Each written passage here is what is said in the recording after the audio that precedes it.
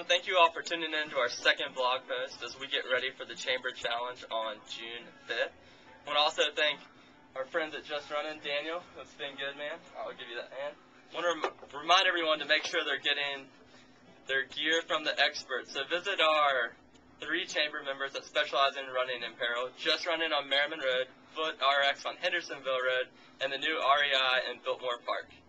See you guys next week.